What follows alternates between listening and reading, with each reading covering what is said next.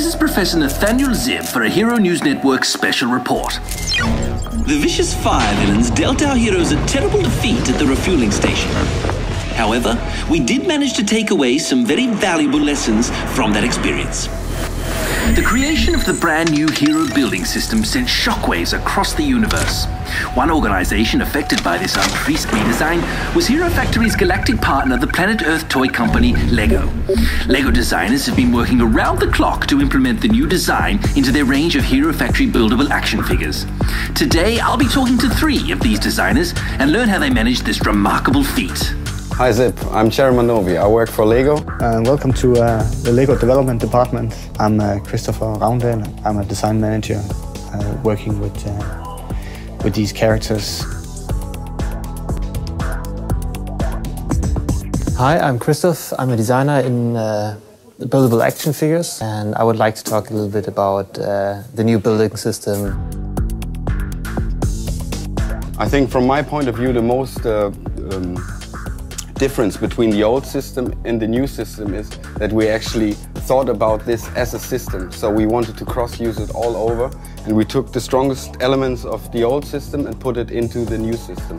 For instance, for us it uh, was very important to, um, to get the ball as the most important uh, element into this system. So you can cross-connect everything. This illustrates like the way we wanted to do this. That you could take and build uh, the skeleton of any structure, in this case, a, a, a, smaller character. We have different parts from that. These elements have uh, different families, different categories. So this is the, the basic, uh, basic torsos, and then these are the, the bones where you build the, the limbs, the arms and legs from. Then you have the, the shells, the cladding that comes on top. And uh, the whole system is uh, kept quite simple. So the elements are very generic, so you can use them in different ways. And that allows you to, to build a big range of uh, creatures and characters and uh, build your own creations and be creative. So for instance, I have an example here, like the size of this torso. We have another size of torso if we want to create a, a larger character. I show you how I do it. It's actually quite simple. You just have these kind of uh, skeletons. So you have um, torso elements and you have small bone elements for feet. And you can just very easily, compared to our old system, combine that. So also our youngest engineers can build these things together. I can take um, a shell piece and you simply choose whether I want to put it there or I might want to turn it the other way around. So we base more of the assembly on one connector instead of having four or five different ones, we still have the opportunity of using all the rest of the connectors from um, from Lego Technic. You don't have to sit and search for a small connector in order to assemble this one on the character. The ball cup is also changed, so actually this is much easier for, for kids to uh, to assemble. We know when when younger kids has to assemble some of the old parts, it's it's it can be quite hard for them. So uh, actually now it's it's it's uh, quite easy to uh, to put it together. You can really easily put on the claddings, so he is covered and he he could be ready for the battle. And of course that depends on what kind of mission he will go up to. The head is also made here in, in different pieces. So you have a you have a, a basic head here. Um, you get some headgear here that you put in here, and then you put the top helmet on, so you can variate this in different colors. For instance, if I had both of these models, I could uh, quite easily turn them into a, a combi model. The feet are used as as a little bit of a of a backpack. Like the more parts you have, the more opportunities you have to uh, change this around. And it's not only smaller models we can do with this. As I showed with the combi model, we have possibilities to uh, to make the models larger. So for instance, here's uh, the Fire Lord. When we build, you need to um, we need to double up our systems of two structures coming up and coming together.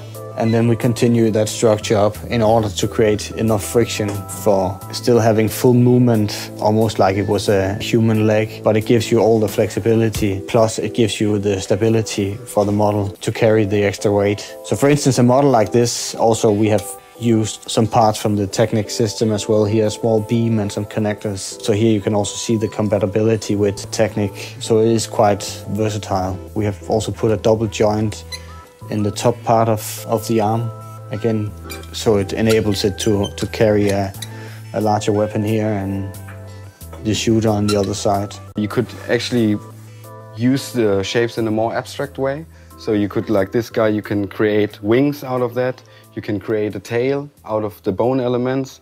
You can just create different kind of face expressions. The chest piece here being used for other stuff here to create sort of a, a color or, or give some effect to the character. This is also a sketch model just to, to, to try to work with the system and see what you can, what you can make of it. On top of that, you could actually um, decorate these elements still with the 318 rods so you can really create something very special for each character.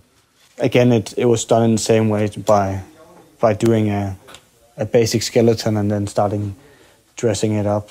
Uh, this is a, a nice mix of some older parts and some Technic parts and, and so on, but, but you get like this flexible rib cage, which is which is looking pretty neat. Um, so you could imagine building this into a an even larger structure or a big, uh, big creature of some sort. Also here you can see like a basic skeleton sketch of what could become a, a dinosaur. Um, again, where the pieces are used in, uh, in, in different ways. Um, so you can imagine starting dressing this up with, with more shell pieces to, to find out how to, to cover uh, the body to complete this. Again, I can just I can steal the part from this guy here and I can use it. Now I want some um, I want some flames down here on on Stormer's legs there. I might want to change this, move the whole piece up and use it as a backpack where you have the the the beam coming out of the fire beam coming out of the jet. Um, later this year, uh, it will also be an opportunity to uh, go in on uh, online and actually um, create your own characters. Um, there will be a range of possibilities in choosing the skeletons, um, what color of the shells would you put on, and a range of equipment, and so on, which will enable you to uh, online build your character, get it shipped home. You can be the engineer of your factory. So this is the outcome of it. Here are the the six heroes. So Zib, I hope you I hope you like them. I hope they are just like the real thing.